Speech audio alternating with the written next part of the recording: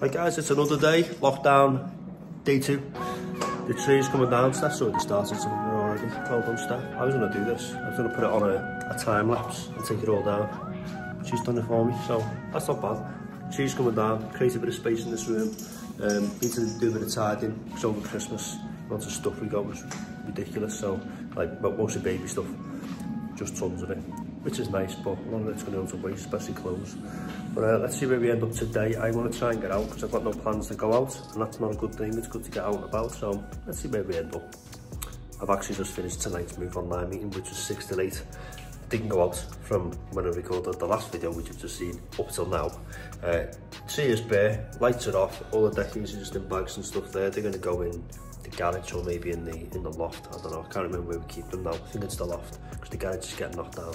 Uh, I've actually found. Oh, I haven't found it. I've uh, I've got a pack a package that come, which I assume is going to be uh, for our babies, our little Mark's bedroom. It's like a bench and you lift the lid up and it's a storage thing. And so I'm going to try and make that now. So let's, I'm going to open it and see if it is the bench. Let's have a little look at that. There's our, there's our package.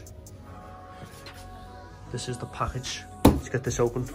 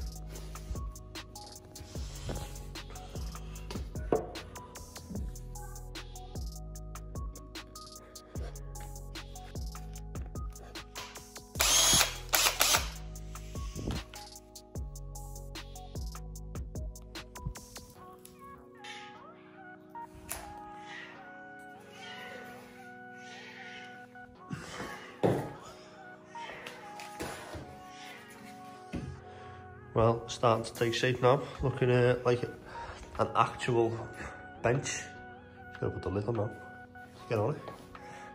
It's got these little holes, guard holes, the hinges. So, let's get it on. Hold on. Nice. That's going to room nicely. So it's looking good. All done. need to get upstairs into the room, but the room isn't totally finished yet. I haven't got carpet in there, and there's a little bit of skirting board that goes around the bay where that fits in. So, uh, but probably what I will do is just, now that it's made, to make sure it fits in right, because it's quite tight. So this is our Mark's room, just had it wallpapered, painted. I haven't got any picture in up though. I'll be putting it up probably later this week. There's our little uh, bench anyway, so just gonna put windowsills around there and a bit of skirting board at the bottom. But otherwise that fits in perfect just I wanted it to. Pretty much in line. So that'll be good. We're gonna have uh, a cot in this corner, wardrobe behind this door here, and a small table, and uh, not a table, chairs, a chest of drawers there. And that's, uh, that's the room. And obviously we'll consider putting carpet down. And we will really. Uh, and that's it, so I am they're in the light. That's today's vlog done. Um, didn't go out, so didn't really have much to report, but being a busy boy today, got that done. Done me two online network events. That's a day in the life of uh, what I'm up to at the moment, so let's see where tomorrow takes us. Hopefully we will get out the house.